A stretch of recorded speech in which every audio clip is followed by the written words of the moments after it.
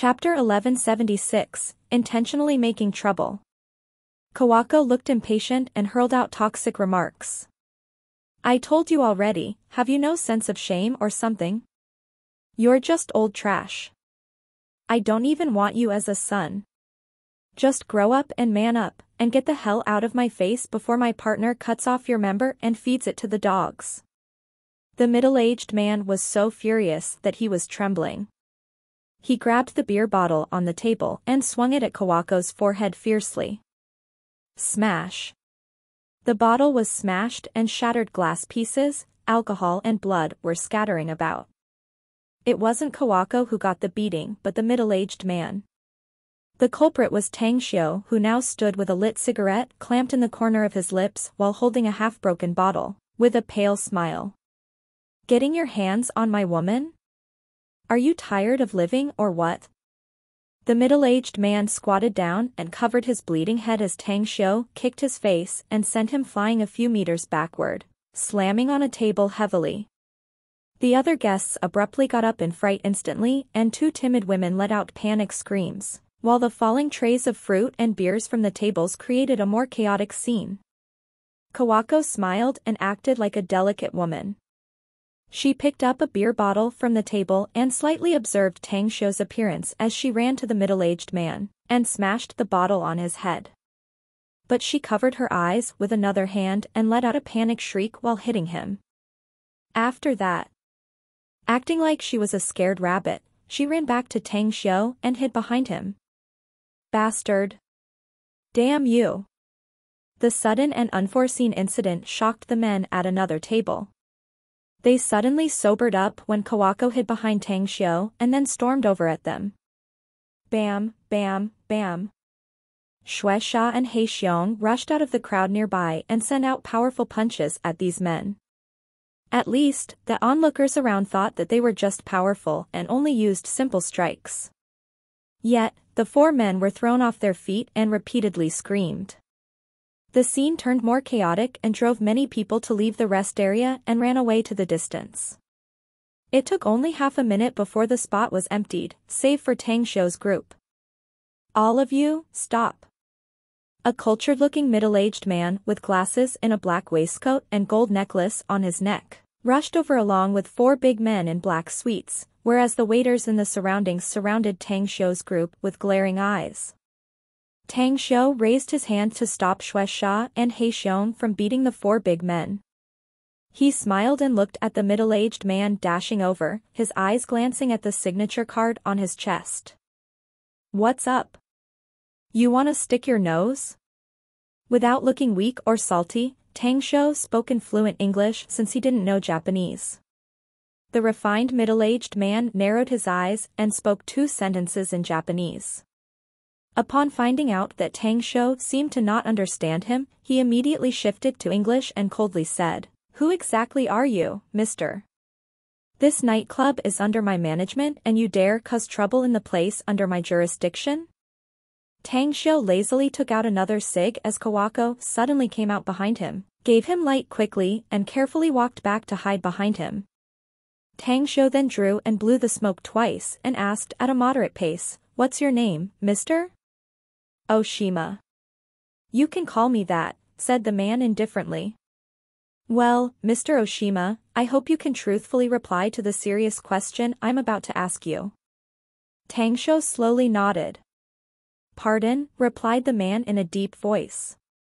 What would you do if another man took a liking to your woman and harassed her before your eyes and treated you as if you didn't exist? Asked Tang Xiu. I'd kill him. The refined man's answer was exceptionally simple. Tang Xiu immediately took it by face value and forced a smile. Damn. It seems I'm still too soft. No wonder I'm still rather furious inside, it turns out I gotta kill this shit to vent my anger, huh? As his voice faded away, he dashed to the front of that middle-aged man, grabbed his hair, and slammed his face on the table's corner. The man's struggling body softened and his breath gradually faded away along with the brain stuff and blood coming out of his head. Tang Xiu clapped and happily said, Thanks a bunch for your advice, Mr. Oshima. It turns out that I can only calm down after killing him. Anyhow, you just asked me why I made trouble in the nightclub under your management, so I'll answer it now. This fella I just killed sexually harassed my woman before my eyes. Do you think my explanation is enough for you? With a chill running down his back and incredulity painting his face, Oshima could only stare at the middle-aged man who had gradually lost his breath. His hands were also stained with murder and he did the deed quite often. Yet, Tang Xiu's action was ruthless and cold-blooded even in his eyes. It was because he had never seen anyone who could still speak so calmly with him with such a happy smile after murdering someone. It was like what he just killed was not a human but rather an ant, or a fry.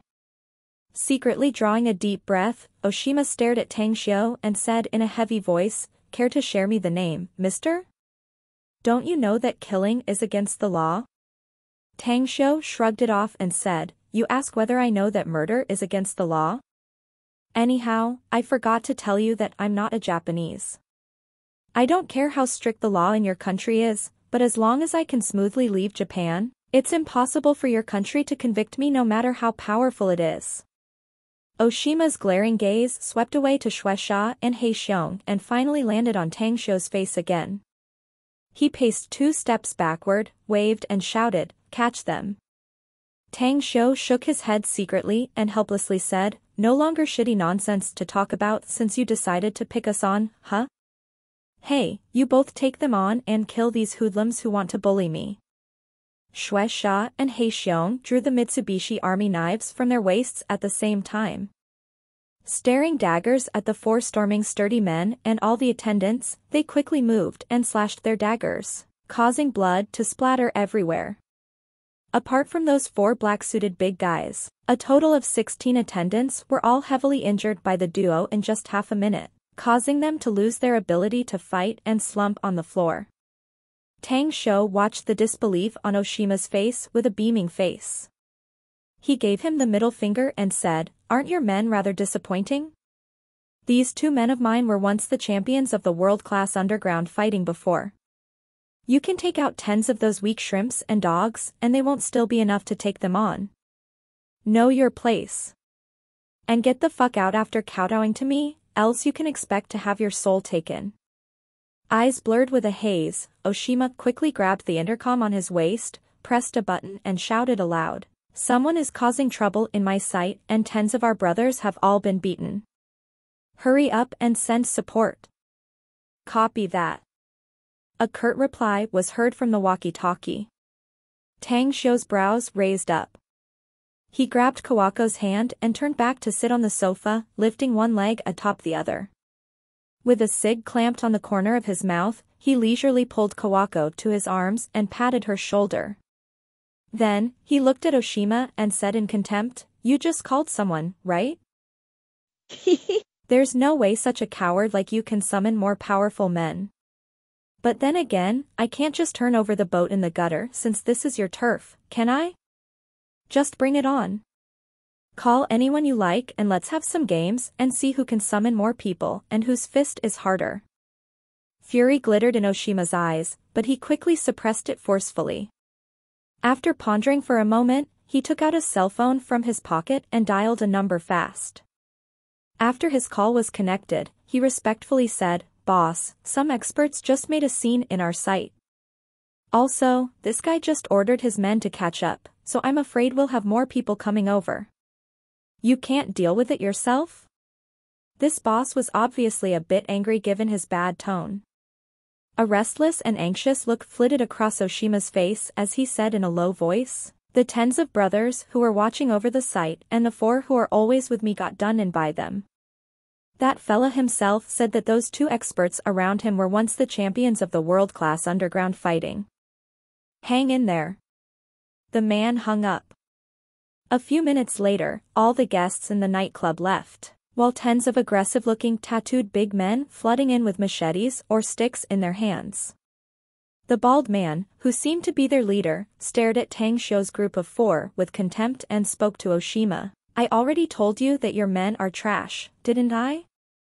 Bring them over to the training camp later and I'll drill them well for you. You definitely can have them for the drills after this fiasco today, Ozawa, said Oshima with a wry smile. But shall we deal with them now? We're going to have some unforeseen shits if the bunch this fella just called arrives here, no? The bald man called Ozawa stroked his shiny bald head and looked slightly surprised. They also summoned their men? Who the hell gave them balls to take the Inari society as an enemy? Kawako translated their conversation to Tang Xiu as he gently pushed her away to flick the cigarette butt. The butt directly hit Ozawa's bald head and Tang Xiu raised his head after seeing his furious look. Now, now. Let's no rush. Is your Inari society some kind of powerful bunch or something? Why haven't I heard of you before? Ozawa frowned and looked at the Oshima. What the hell is this bastard saying? Oshima translated Tang Xiu's words and finally said, he's too damn arrogant and insolent, Ozawa. Let's just beat them up now and give him a tough lesson. Ozawa nodded and shouted aloud, all of you, unleash everything you got and cripple these bastards. Leave the woman, I'll fuck her before his eyes. Chapter 1177, Pulling a Snake from Its Hole. A frosty light flashed in Tang Xiu's eyes as he instantly shot a sharp dagger to Ozawa's throat and accurately pierced it. It was one shot insta-kill. Oshima was horrified. He staggeringly paced back several steps and stared at Tang Xiu in horror. The tens of men Ozawa brought were similarly shocked at this moment, for they never dreamed that their boss would unexpectedly be killed by the other party in an instant. The culprit didn't even stand up and just threw a dagger. What the hell are you gawking for? Kill him. Gritting his teeth, Oshima shouted aloud while guarding against Tang Xiu in case he shot him with a dagger as well. He was crystal clear, today's incident would be blown up out of proportion. It could have been still manageable if it was just the guest who got killed or his men got beaten up, but the death of Ozawa would definitely make this issue bigger and far from over. Tang Xiu narrowed his eyes and apathetically said, fulfill their wish to die since they've asked for it. Save that Oshima fella for me. It's rather difficult to find someone who can speak English here.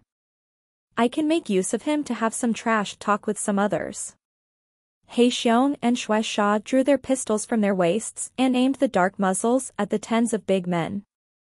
Sparks of fire ignited as the duo pulled the triggers and each bullet claimed a soul after it hit each man's glabella. That was literally a massacre, a completely one-sided slaughter. These tens of big men were like wheat getting blown by the north wind. Only less than ten of them were still alive in just a few seconds since He Xiong and Shui Sha each brought four pistols, and fully emptied their bullets. Run. They are demons. One person among these sturdy men, who suddenly sobered up from the fright due to the massacre, quickly ran and tried to escape from this hellish place. Humph. Six throwing knives suddenly appeared in Shui Sha's hand. He flicked his hand and threw one of the knives at the man, which pierced the back of his head. He watched as the man's body loudly slammed on the floor and simultaneously threw the other five which stabbed the throats of another five men. At the same time, He Xiong dashed forward like a bolt of lightning toward the remaining men. His figure instantly appeared before their eyes and the Mitsubishi army knife in his hand quickly pierced their hearts and slashed their throats. All that was happening didn't make any ripples on Tang Xiu's face. He indifferently said, well, I hope you're a smart man, Mr. Oshima. Only smart people can live for a long time. Don't even think to run as you can never escape. Come over and kneel before me and we'll wait for the arrival of your reinforcements. I really want to have a look at your boss, that Inari Society's head. I wonder what kind of abilities he has. Oshima desperately gulped and looked at Tang Xiu as though he was staring at the fearsome Shinigami himself.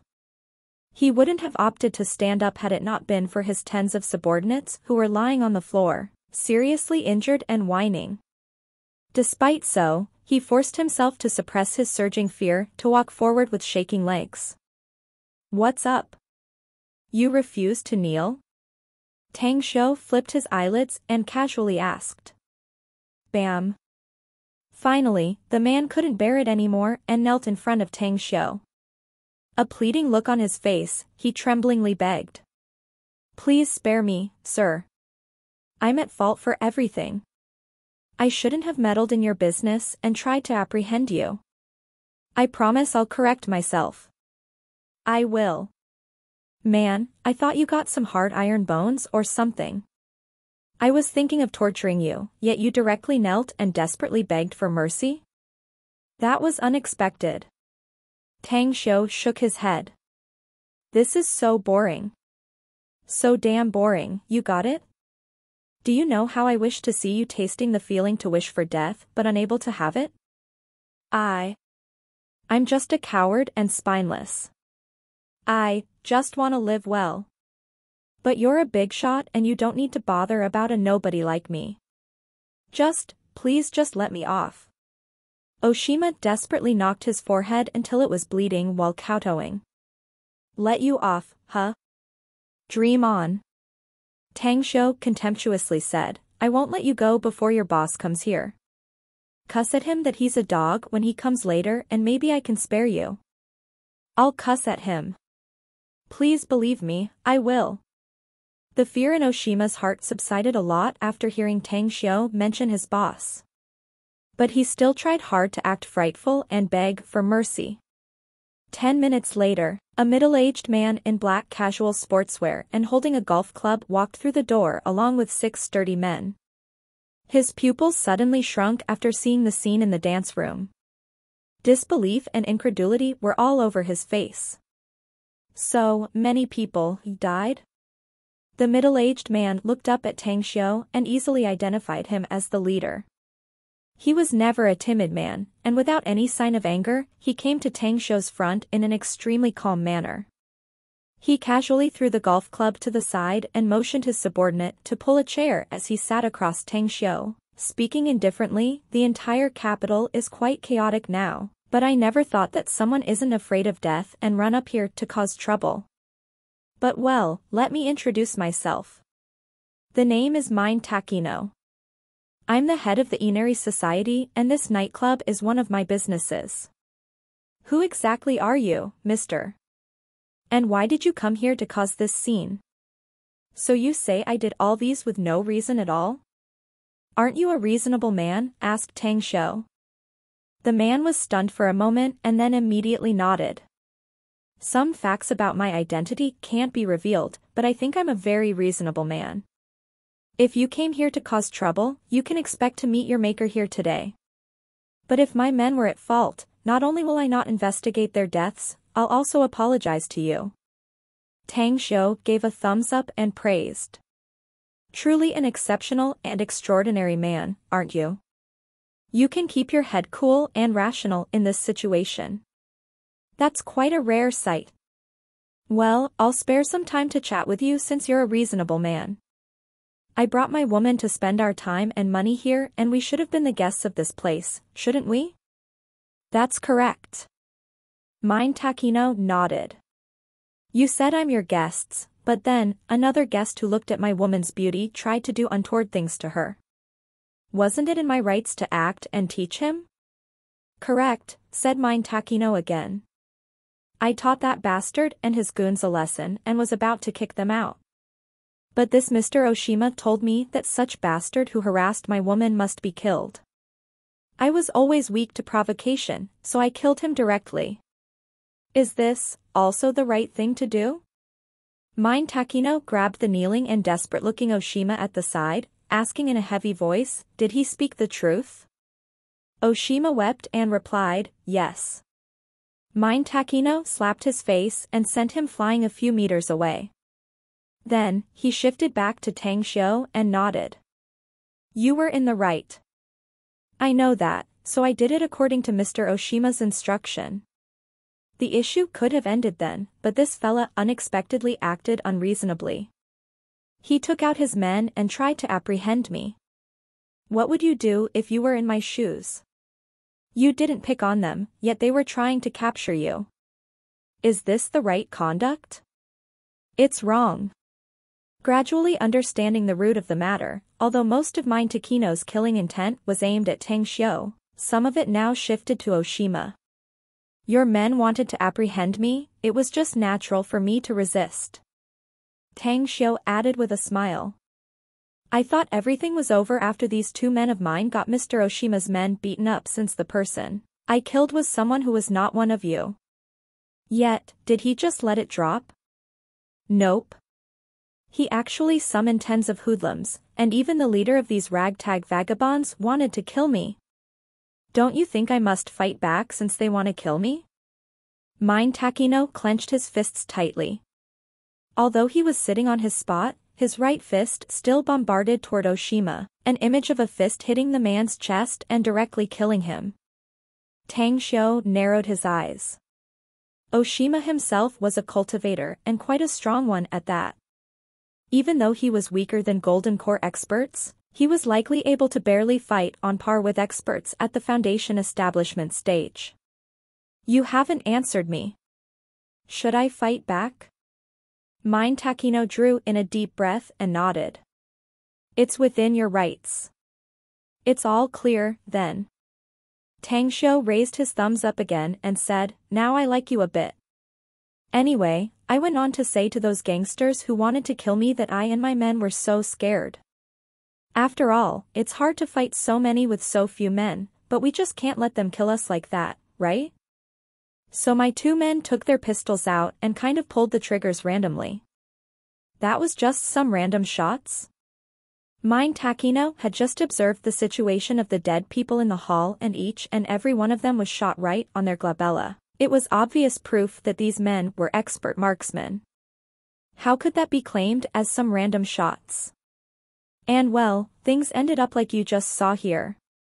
Do you think we're at fault for the whole incident today? We are not, are we?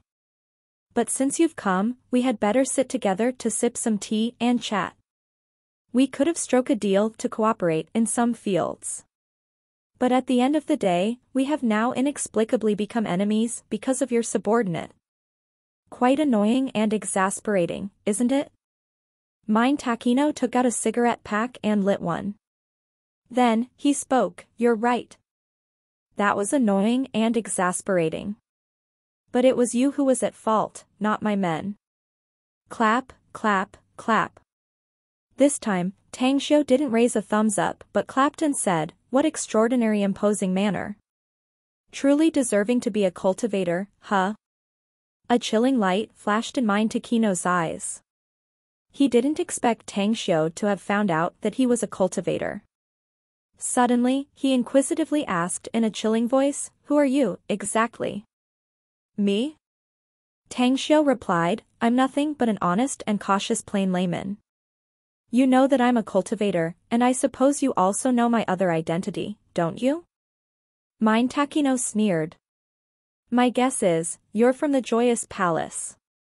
Having said that, he stuffed his other hand in his pocket. He thought that Tang Xiu didn't notice it as he texted a short message relying on his senses and then sent it out. Chapter 1178 Killing enmity is better than keeping it alive. Kyoto's suburb. A group of swallows flew, and the roars of wild animals repeatedly echoed over the vast expanse of a mountain range. The place was the Jin camp as well as General Fukuda's stronghold. A cluster of ordinary barracks was built around the mountain with hundreds of thousands of troops stationed in four barracks, while inside the massif was an underground space that was limited to the field of activity of Japanese cultivators and genetic warriors. Inside the secret room, Azuki Kitagawa held a beautiful sable.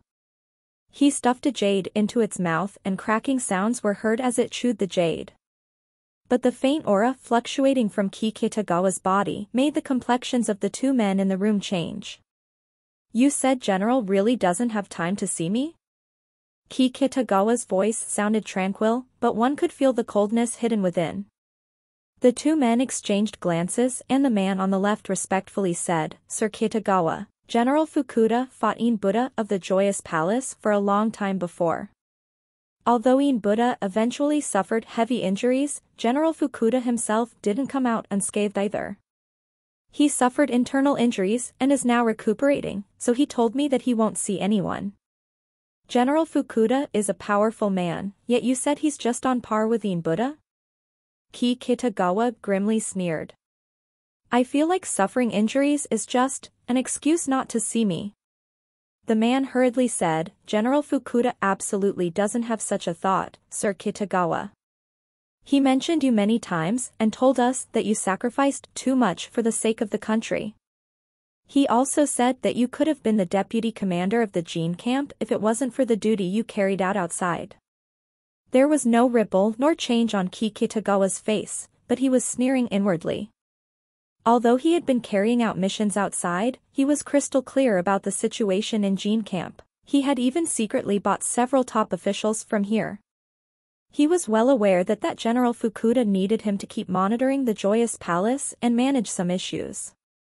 Else, this general who was respected by many people would have stabbed and killed him since he was like a thorn in his eyes. Time is of the essence. As long as I have three years, I'm sure I can surpass General Fukuda and make him hand over this gene camp to me if I oppress him by force then. Ki Kitagawa's eyelids raised and glared at the apprehensive and scared man.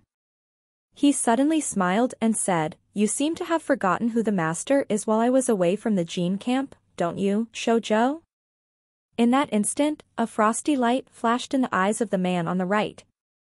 A sharp dagger instantly slashed the neck of the man next to him. He quickly pierced the man's hearts, causing blood to splatter. In just a few seconds, the man on the left was dead. Sir Kitagawa, this shoujo thinks what you said makes sense. This guy not only apparently become General Fukuda's lackey, but he also managed lots of things for him in the back. Some of which also brought disadvantages to you. However, this subordinate kept wiping off some of the traces secretly, so the issue didn't reach you. Shoujo cupped his fist and reported. Ki Kitagawa threw the sable in his arms to the body and let it nibble at it. He then slowly walked to the chair and took a seat, slowly speaking, that old dog Fukuda has always been overly suspicious. I'm afraid this bastard already told Fukuda about some issues I've been dealing with. But Fukuda is seemingly reluctant or doesn't dare to do anything to me. He must keep treating me amiably as long as the Joyous Palace exists. But the Joyous Palace will be massacred by us sooner or later, Sir Kitagawa. Shoujo argued.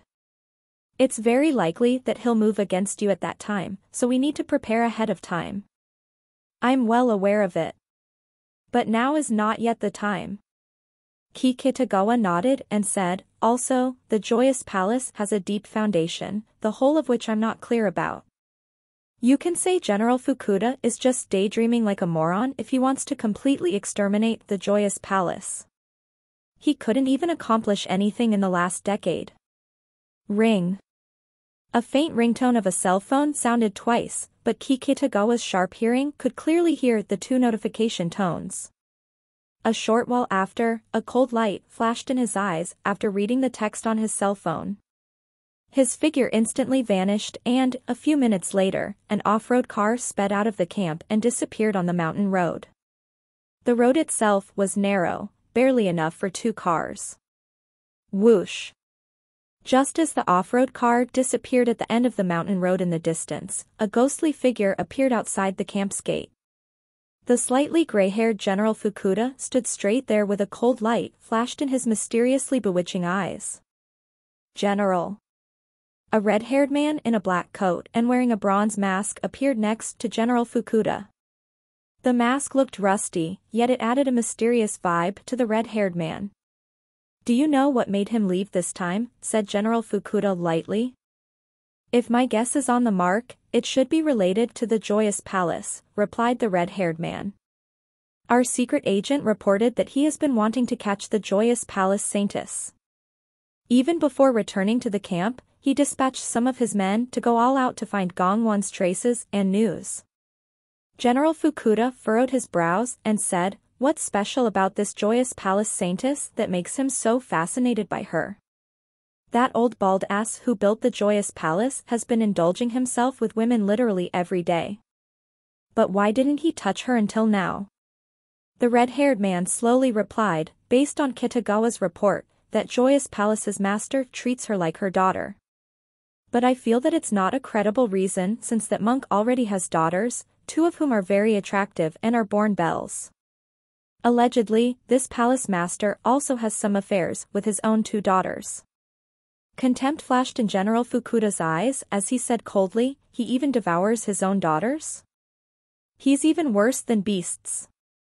The whole of Japan turned stinky and dirty because of him, especially things related to men and women which turned so messy now.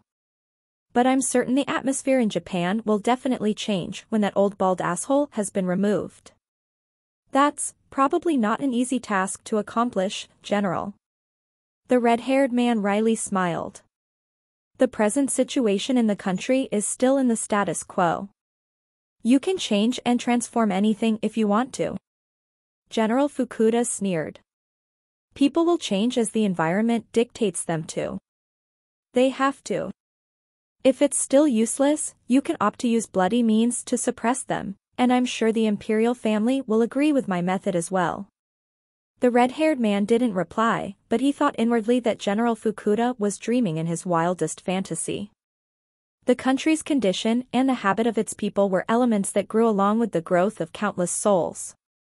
Using bloody suppression to force transformation in the society would only be like curing the symptoms, and would prove to fail to even touch the roots of the problem. General Fukuda drew in a deep breath and said, dispatch the first squad out. If you find any sign that Kitagawa betrayed the Gene camp, report to me at once. Understood. The red-haired man replied shortly and his figure quickly bolted away. In the dimly lit nightclub, Mine Takino quietly observed Tang Xiu with a calm expression. It was conventional wisdom that continuous victories started from knowing oneself and thy enemies. But in his case, at the present, he literally knew nothing about this young man before him. That was all the reason why he didn't dare act rashly despite being confident in his own strength. Thus, he decided to wait for the arrival of his big boss before making the next plan. He knew what he had to do now was to stall this young man and make him wait here until his big boss arrived. No matter how arrogant and rampant this brat was, kowtowing and begging for mercy before his boss would very likely be the only choice this brat would have at that time. Come again? Joyous Palace? What the hell is that? Intentionally pretending to know nothing, Tang Xiu shot a curious look at Mine Takino and asked. You're not from the Joyous Palace? asked Mine Takino with furrowed brows. Bah. I just arrived in Japan a couple of days ago, how do I know what shit this Joyous Palace is? Tang Xiu rolled his eyes and coldly snorted. I just came over to Japan for vacation this time, mind you. I was gonna find my old buddies here and chat about the old days, yet little did I expect to run into this annoying shitluck here. Only now did Mine Takino finally realize why this fella never spoke Japanese and always conversed in English. It turned out that he just came to Japan and didn't know Japanese at all. Who is your friend, mister? The man recalled the prior report he received. It was said that this guy was calling someone over. Maybe that person was the one he called a friend.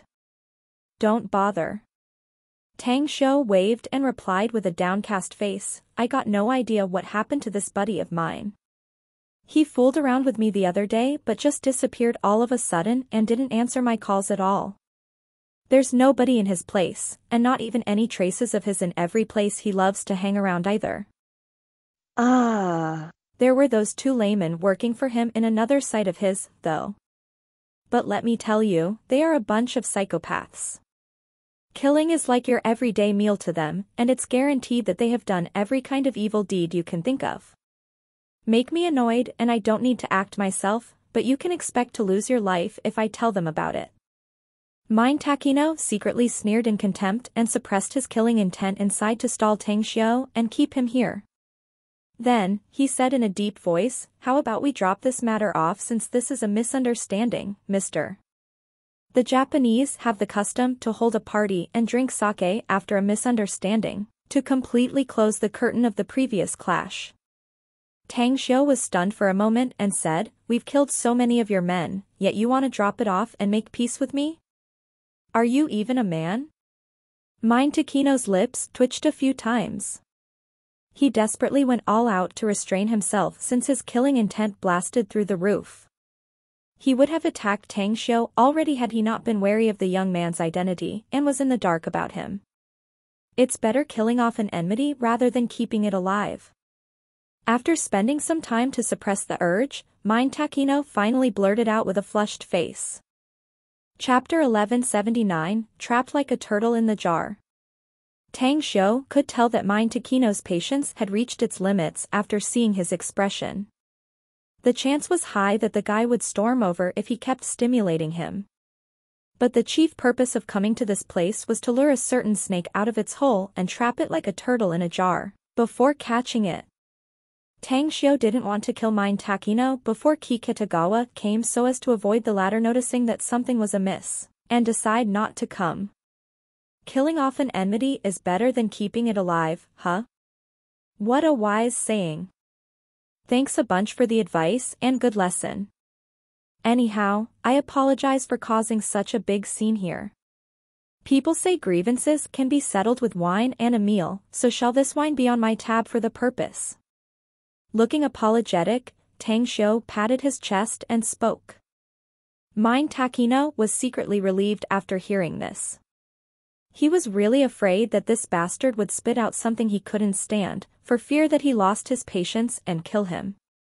You came from afar, as a host, it's just natural that I can't let you be the party host, mister. It's all on me. However, please wait for a while for my men to clean up these bodies first. Please. Tang Xiu nested himself on the sofa with a leg atop the other. After swinging his hand, he saw a few bottles of sealed beers lying on the floor next to the sofa and immediately picked up a bottle. He then opened the cap and leisurely drank it. Time passed. The tall and ferocious-looking Kumaji Mogu along with tens of stalwart men flushed into the nightclub in an aggressive manner. Upon seeing Mine Takino directing his men to clean up dead bodies and blood stains on the floor, he instantly shouted as loud as he could in fluent English, holy cow. Which bastard bullied my buddy? That damn Inari society? Where the fuck is that miscreant head of Inari, Mine Takino? This big daddy will definitely mutilate you today. Mine Takino turned around and furrowed his brows after seeing Kumaji Mogu and the tens of men with earrings, bleached long hairs, and dressed in outlandish attire behind the guy. He fiercely shouted immediately, what the hell are you running here for like some rabid dogs? Do you think this place is somewhere you can make trouble or something? Who the hell are you? Don't tell me you're that shitty bastard Mine Takino, else I'm gonna blast your balls and cut your fucking head off. After saying that, he seemed to have caught sight of Tang Xiu and dashed towards him, asking aloud with concern, it was all my fault, buddy. To think that somebody wronged you in my country, that was unexpected. I'm really sorry. Please don't get mad. I'm gonna make whoever bully you pay the price. They can report to the Shinigami for all I care. A smile sported on Tang Xiu's face while looking at the subordinate of Kawako. He waved and shrugged and smilingly replied, well, things been dealt with already, Kumaji. We just killed those who bullied us. Just chill down and bear it, will you? That Mine Takino is perhaps bad stuff, but he at least didn't bully me. uh... Well, it's not like I hid it from you intentionally, though. It's just, cough, cough, those who got killed were rather pitiful, so just help them out, Kumaji. They're cleaning the bodies so we can have a meal and drinks here. Kumaji heavily nodded, then waved the machete in his hand and said loudly, you can feel at ease since you didn't bully my buddy.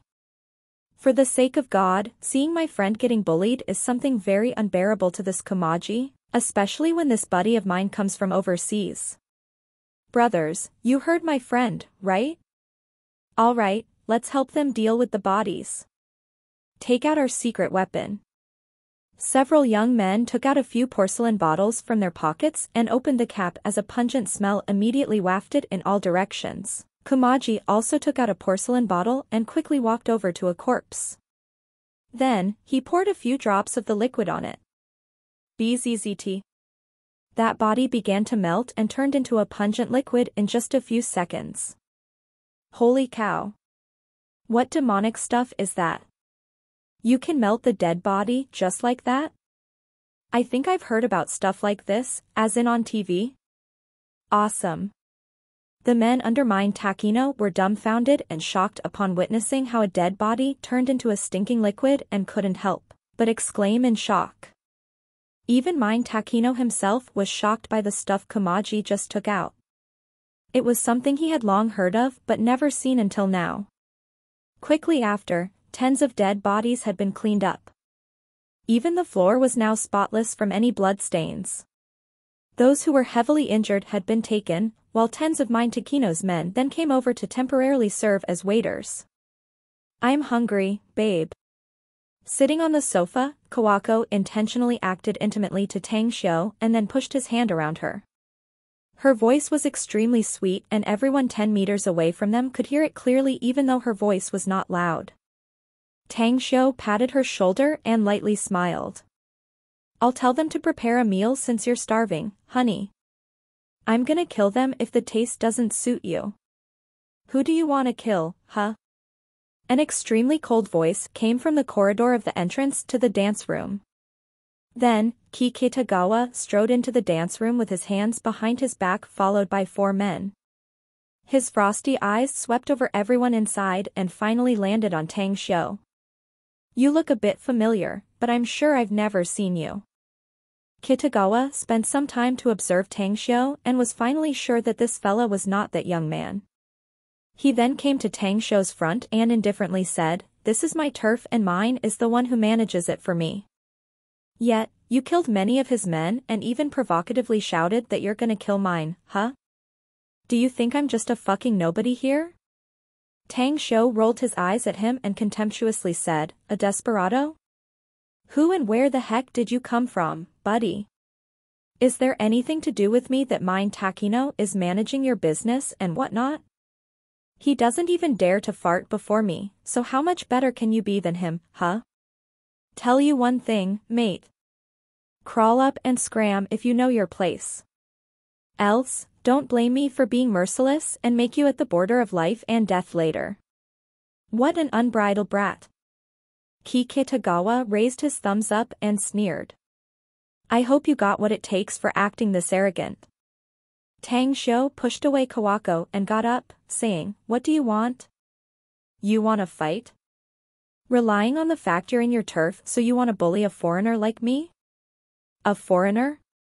Ki Kitagawa didn't know Tang Xiu's true identity, but just the word foreigner was enough to make all his wariness vanish. He instantly moved in a flash and slapped Tang Xiu's chest. Any average man would directly die by his slap.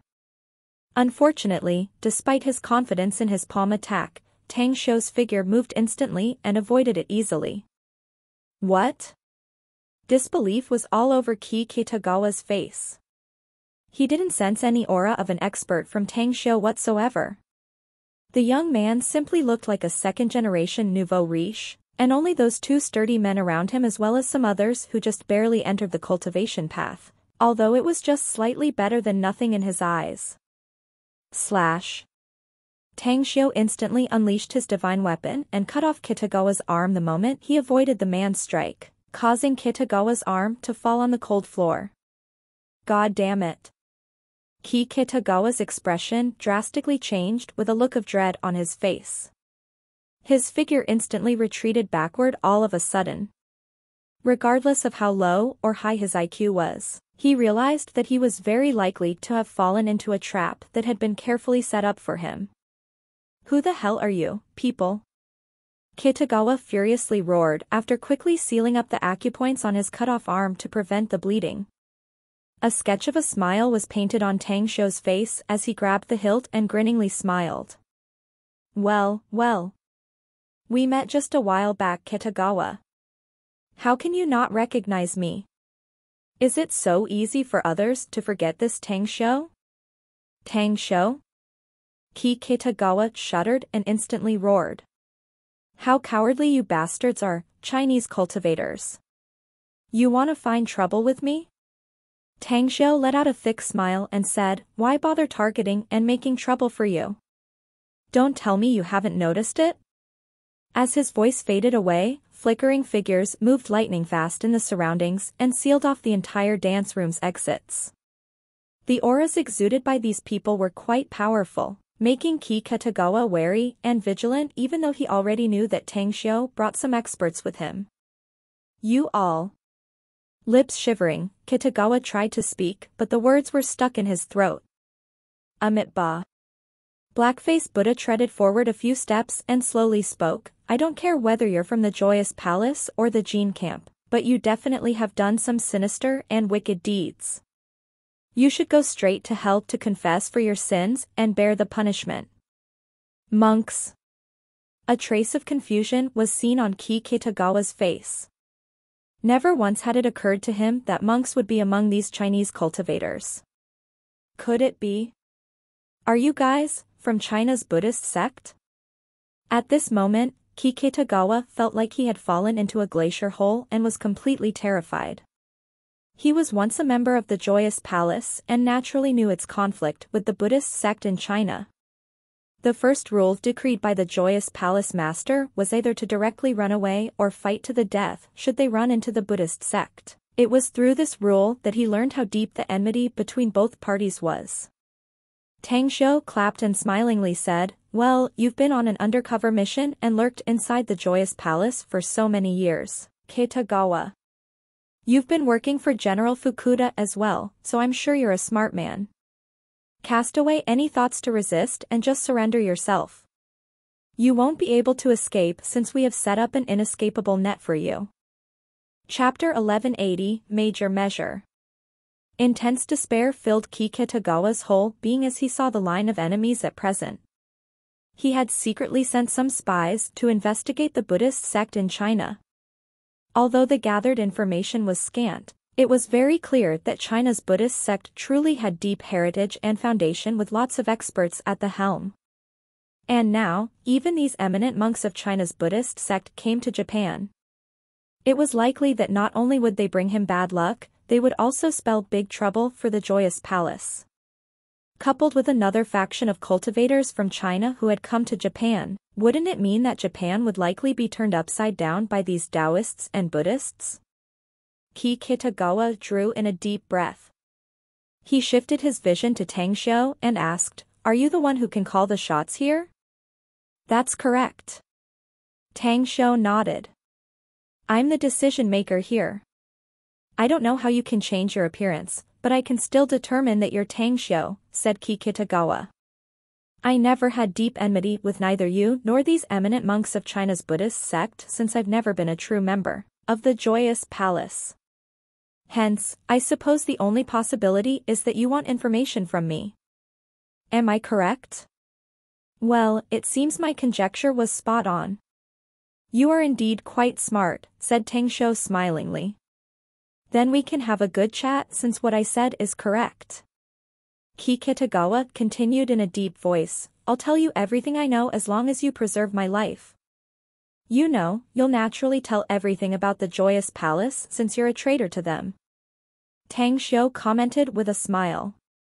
It's a pity to you the status of my underling when she was in the Joyous Palace was much higher than yours, so I don't need anything pertaining to the Joyous Palace's situation. Ki Kitagawa's expression slightly changed and he replied with an ugly complexion. You want to know about General Fukuda and the Gene camp, then? That's right, replied Tang Xiu. Ki Kitagawa took a deep breath and asked seriously, then answer me a question. I'll tell you everything I know about General Fukuda and the Gene camp as long as you answer it. Do ask. Tang Xiu nodded. With flickering eyes, Kitagawa asked in a deep voice, You said your subordinate status in the Joyous Palace was much higher than mine. I can believe in this one because there are many with higher positions than me like those mistresses, and some mysterious experts I never knew about. However, I'd like to know the identity of this person first. It's me. An aquamarine figure flashed and appeared in the hall floating midair. Faintly smiling and holding a rosary in her hand, Yuji came to Tang Xiu. She slightly leaned and raised up her head to report. I've sent some people to fully investigate some hidden networks of the Joyous Palace. You only need to command and I can take the men to destroy these hidden sites and then shift the blame to the Gene camp. At this moment, another figure floated in from the corridor. It was the veiled joyous palace saintess. Her intelligent eyes quickly landed on Kitagawa and lightly said, Boss doesn't mind letting you know some issues so that you can willingly cooperate with us, Kitagawa. We prepared and did our best to lead you to this place and arranged the encirclement in advance. Not even a fly can escape this place, so you had better tell everything you know. Tang Xiu watched Kitagawa, whose expression now changed dramatically. He smiled at him and said, You wanna know more, Kitagawa? If you do, I can satisfy your curiosity. But beware since the more you know, the closer your death will be, so you had better think about it clearly. Kitagawa fell into silence for a long while before silently nodding. Then, he spoke, I'd like to put forward another request. Don't go too far, Kitagawa, interjected Kawako coldly. The man shot a look at Tang Xiu with an extremely solemn expression. Speak, said Tang Xiu indifferently.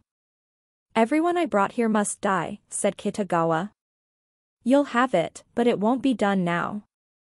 Tang Xiu nodded. Kitagawa took a deep breath and said, then do ask anything you want to know.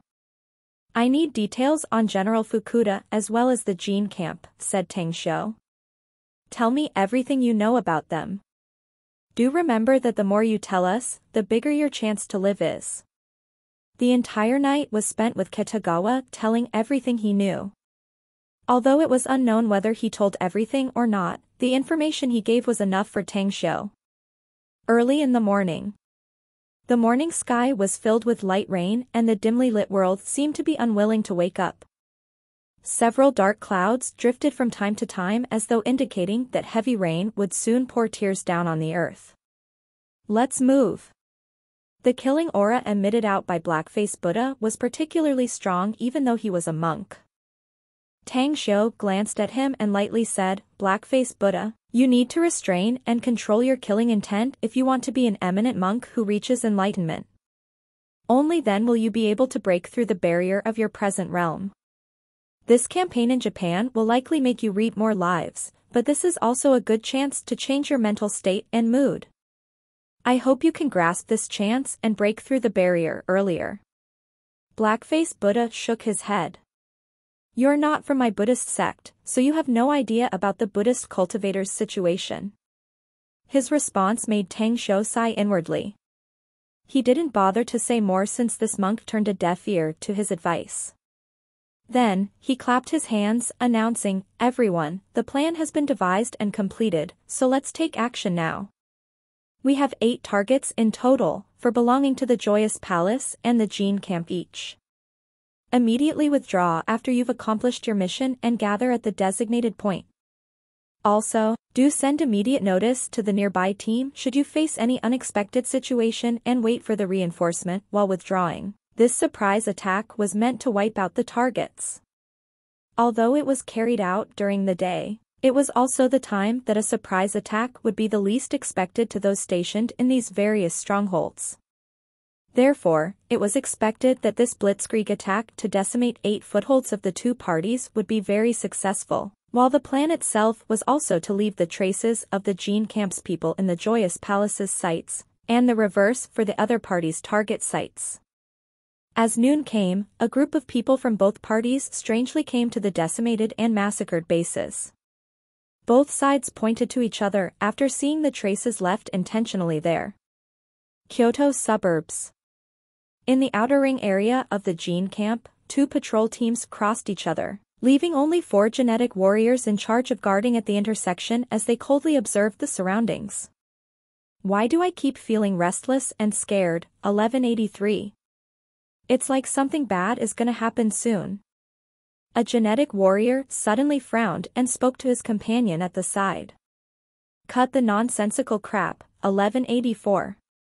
Do you think you're a woman and got a sixth sense or something? His companion rolled his eyes at him and contemptuously snorted. 1184 didn't speak again, but his vigilant eyes kept scanning the surroundings so that he could immediately find the slightest sign of disturbance in the surroundings. Nobody knew that it wasn't his first time having such a particular feeling. He had the same sensation several years ago and survived that crisis due to his intuition.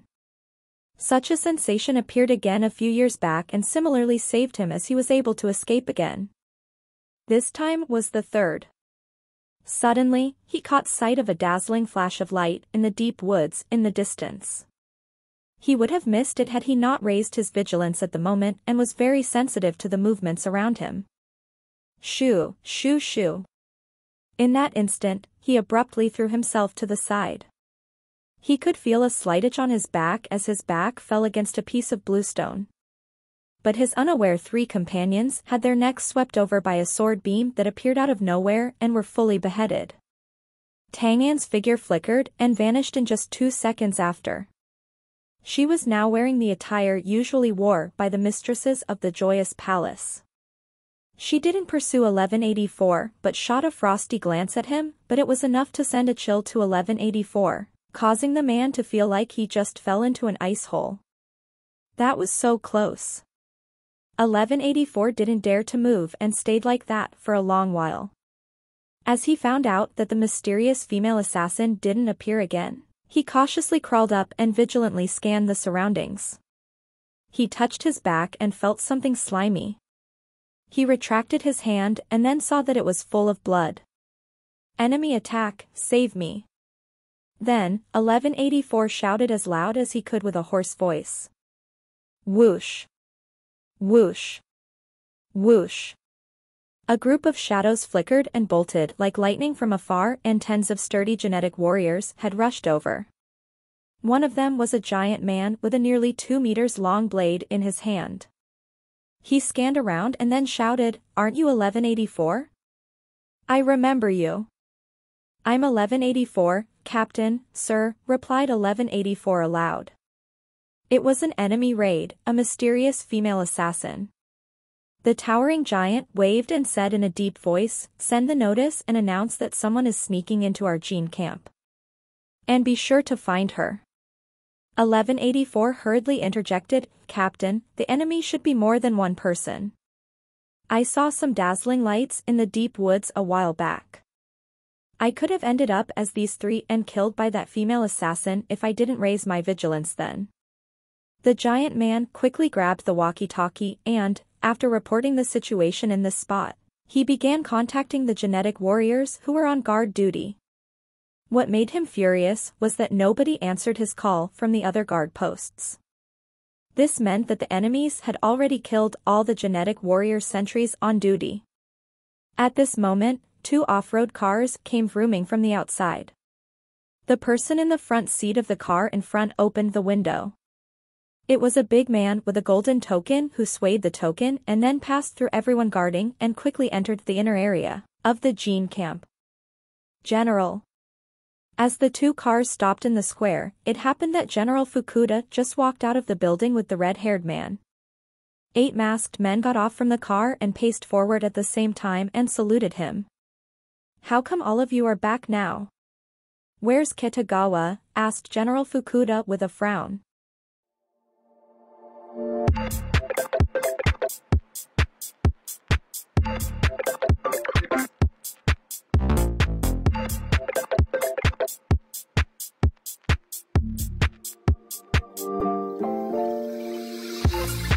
Thank